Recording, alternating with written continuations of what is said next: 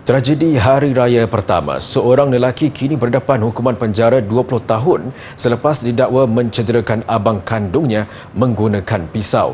Perbuatannya itu mengakibatkan mangsa parah.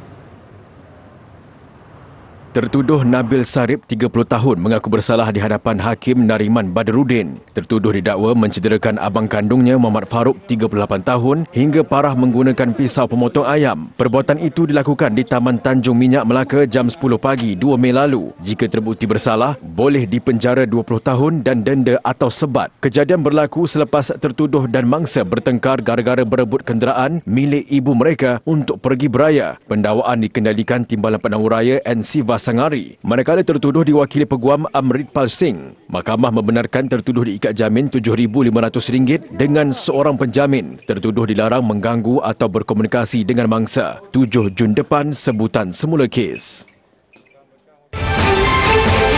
Perlis, dua tahanan yang melarikan diri dari pusat serenti di penjara enam bulan. Hukuman itu dikenakan ke atas Muhammad Zahir Sa'ad, 44 tahun dan Muhammad Hutono Mandala Putra Muhammad Sabaudin, 51 tahun selepas mereka mengaku bersalah. Pertuduhan dilakukan secara berasingan di dua mahkamah majistret di Kangar. Kedua-dua tertuduh didakwa dengan sengaja melarikan diri daripada tahanan yang mana tertuduh ditahan secara sah. Kesalahan itu dilakukan kira-kira jam 4.30 petang 7 Mei lalu di Pusat Pemulihan Penagihan Narkotik Puspen Bukit Cabang di Berseri Perlis. Pendakwaan dikenalikan pegawai pendakwa Inspektor S. Mageswaran dan Timbalan Penanggung Raya Alia Suzila Cekpi. Kedua-dua tertuduh pula diwakili peguam dari Yayasan Bantuan Guaman Kebangsaan.